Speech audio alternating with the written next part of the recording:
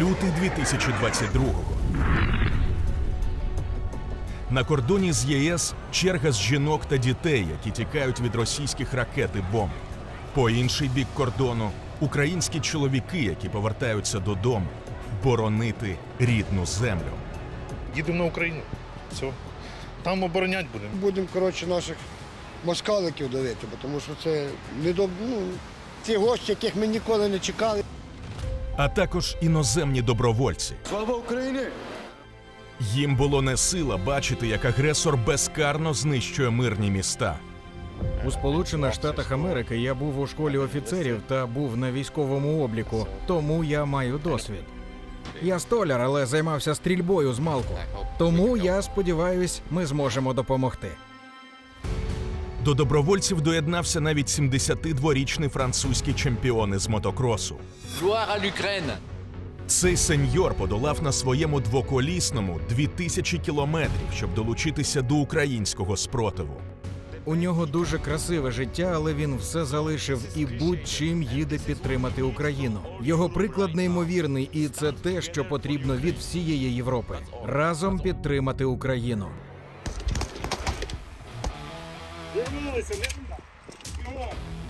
Коли е, приходить зло, то проти зла е, поєднується світло. Тобто ці люди, значить, вони люди воїни світла. Ці люди приїхали це зло покарати. У першій хвилі добровольців був і інструктор із позивним Хасид.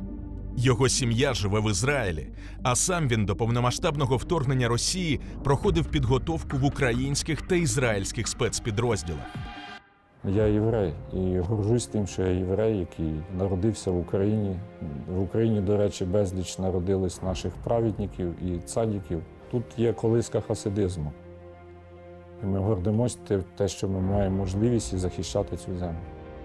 Під час Другої світової родина Хасида пережила звірства нацистів, які через 80 років повторила Путінська орда. Я можу провести паралель те, що зробили рашисти в Буча, Ірпень, і те, що пережила моя сім'я під час Великої вітчизняної війни. Моя мати сама Житомирської області, вона тоді була маленька, її брата, мою тьотю і ще одного її брата. Разом з моєю бабушкою фашисти вивели не тільки їх, там був ціла була братська як могила на розстріл, але слава Всевишньому, всі лишилися живі, і через три дні вони вийшли з цієї, виповзли з цієї ями. Тому ці звірства, які робили фашисти, і те, що зробили росіяни тут, ідентичні. Хасид підготував близько півсотні українських підрозділів. Через його вишколи пройшли понад 5 тисяч захисників. Для мене, як для інструктора, саме важливе в цій війні, щоб люди лишилися живі. Я сам галахічний єврей і керуюсь філософією врятував життя, врятував світ. Коли мені приходять повідомлення, дякуємо, що ми вийшли з оточення, завдяки цим навчанням, каже, ми залишились живі. Це мене надихає і дає мені сил, щоб далі працювати. Іноземців, які стали на бік свободи, виявилося настільки багато, що для них довелося сформувати окремий підрозділ ЗСУ. Інтернаціональний легіон був створений за рішенням президента. Це прозвучав заклик про те, що всі, хто люди доброї волі і готові воювати в складі Збройних сил України і протистояти російській агресії, вони вільні прийти в дипломатичні установи України за кордоном і відповідно підписати умови контракту. Якщо для одних захист України був справою честі, для інших це продовження їхньої власної війни. Пам'ять про подвиг українських льотчиків назавжди залишиться в історії Грузії та в серцях мільйонів її громадян. Єдина країна, яка допомогла Грузії, це була Україна. Вона евакуювала дуже багато людей. Якби українці не допомогли, там би нікого в живих не лишилося.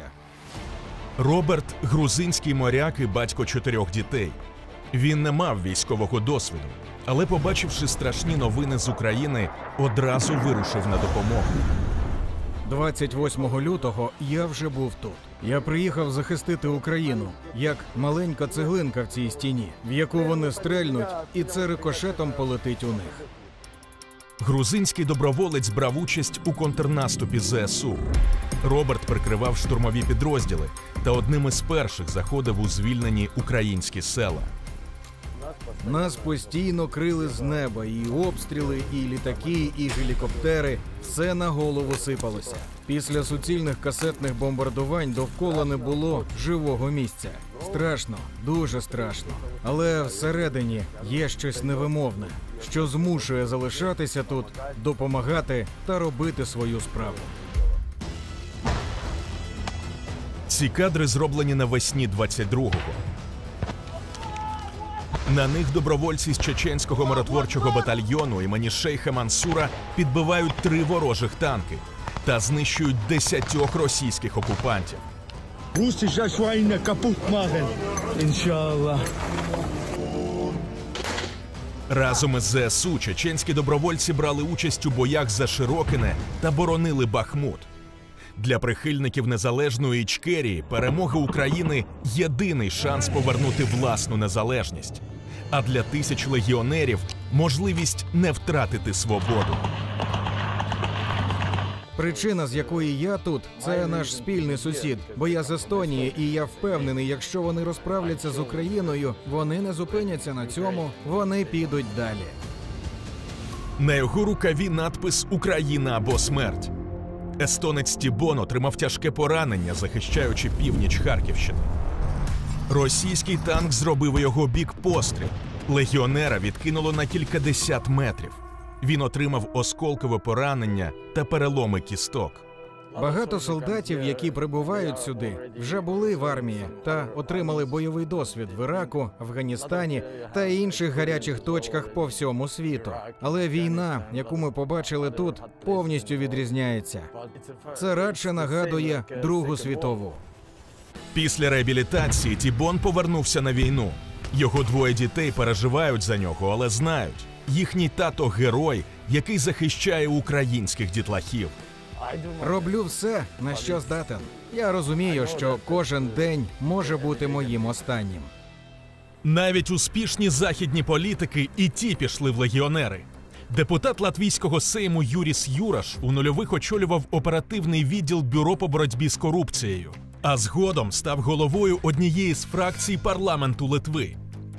У березні 22-го він склав депутатський мандат, щоб одягнути український піксель.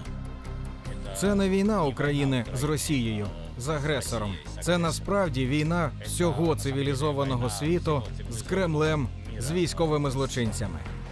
Іноземний політик захищав Київщину та став розвідником батальйону Карпатська Січ.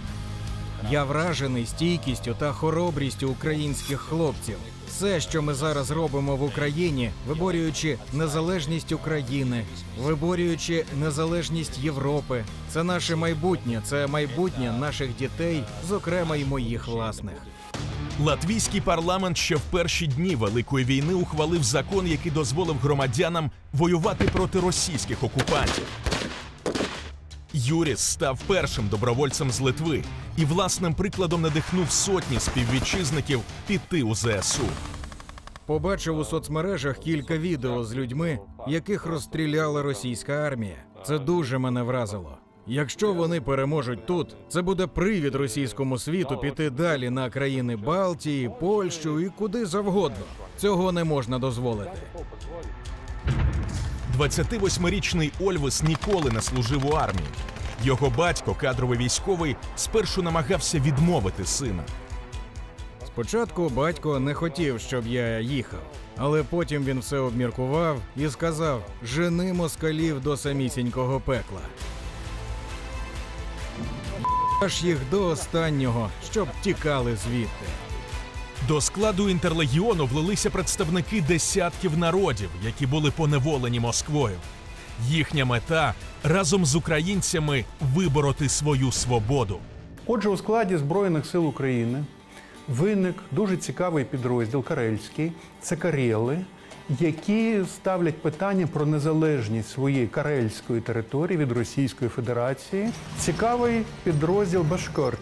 Це представники Башкірії, які також ставлять питання про незалежність Башкиртостану від е, Московії. Так само у лавах Збройних сил України воюють представники потужного руху Інгерманландія. І це територія сучасної Ленінградської області, які називають місто Санкт-Петербург Нєвостолітто або П'єтері. Легіонери, які мають власні рахунки до Росії, знайшлися не лише на пострадянському просторі.